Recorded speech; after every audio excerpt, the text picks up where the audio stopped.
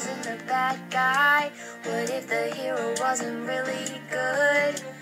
What if the damsel in distress was living her life and he took her away from the one she loved? And what if fairy tales don't have happy endings? What if they end up in?